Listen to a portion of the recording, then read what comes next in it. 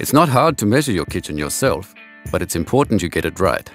If you need help measuring, visit your local IKEA store or call us for details. Always record your measurements in millimetres. Start by measuring floor to ceiling, from wall to wall, and from the corners to the doors.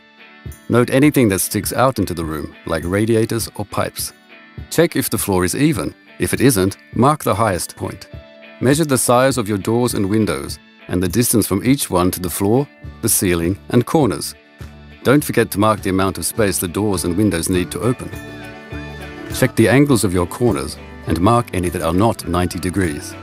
Finally, mark the position and size of existing electrical outlets, switches, gas and water pipes, as well as your drain. Remember that the drain isn't always directly under the sink. If you're planning to move any of these, mark their new positions. Pay particular attention to the current position of your ventilation outlet, as this can be difficult to move.